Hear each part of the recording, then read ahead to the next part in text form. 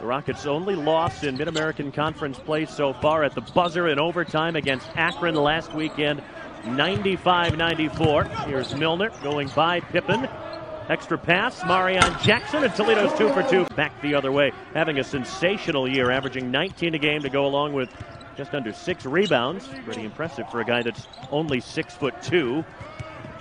Was knocked away on the drive.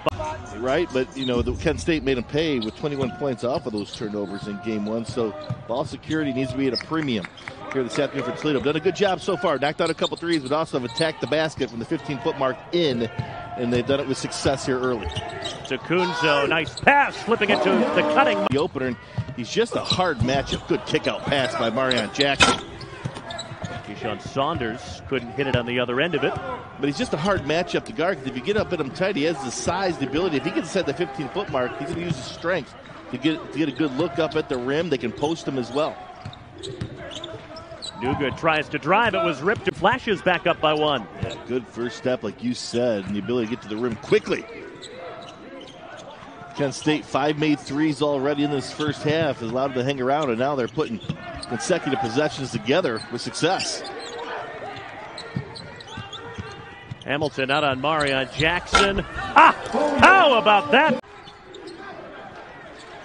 Jacobs. Nope. Kent State 5 of 15 from 3. Toledo 3 of 11.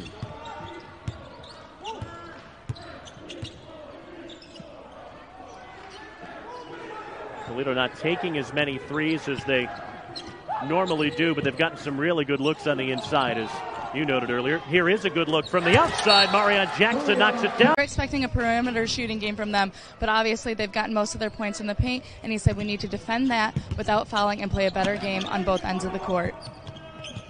Normandy, thank you. Defend without fouling, easier said than done based on what we saw in the first 20 minutes. Here's JT Shumate, who was quietly really good in the first half, offensively really efficient, was four or five shooting at 11. Millner trying to spin and get a shot away. He did, but couldn't connect on Pippen. It's good discipline by Pippen not to go for the head fake and make him make Millner shoot over the top.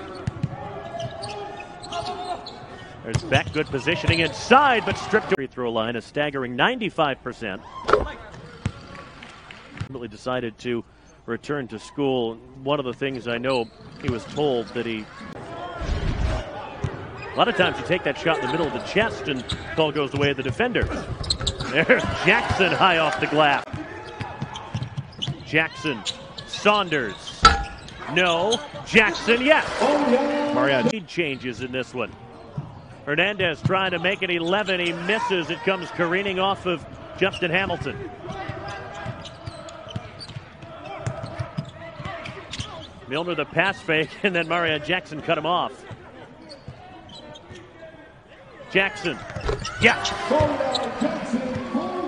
60 to 57 with 7.20 left.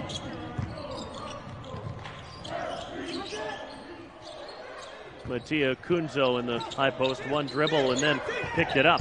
That's not where you want him picking up his dribble, is it? No, he did a good job of being able to kick it out rather than forcing a shot. Jackson driving and scoring. He's taking advantage of that at a few different times here this afternoon. Big bucket there off the errant miss by Pippen. Jackson down the lane over Pippen. Rollins and Shumate.